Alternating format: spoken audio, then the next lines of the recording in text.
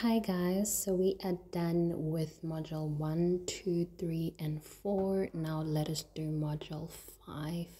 We're just going to do a basic overview study of module 5 and answer a few questions. Once done with that, we are then going to go ahead with the questions and answers.